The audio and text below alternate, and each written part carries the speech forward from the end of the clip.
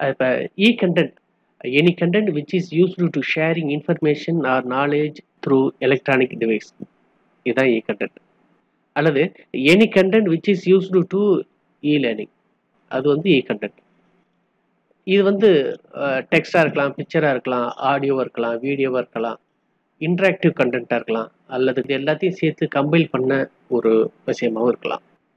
சரி.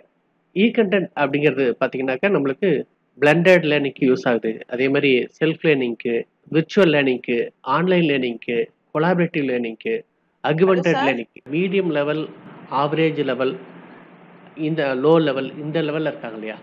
அவங்கள வந்து நல்லா படிக்க வைக்கணுனாக்க அதுக்கு வந்து நம்ம நிறைய டெக்னிக்ஸை யூஸ் பண்ணால் தான் அவங்கள வந்து படிக்க வைக்க முடியும். அதுக்காக தான் மெயினாக வந்து இந்த இ கண்டென்ட் டெவலப் பண்ணுறோம் சரி அடுத்தது இப்போ ஒரு நல்ல கண்டென்ட் அப்படின்னா நான் வந்து காமர்ஸ் படித்தவன் ஒரு மேத்ஸ் படித்தவங்க அதாவது ஒரு மேத்ஸ் கண்டென்ட்டை என்கிட்ட கொண்டு வந்து காட்டுறாங்க.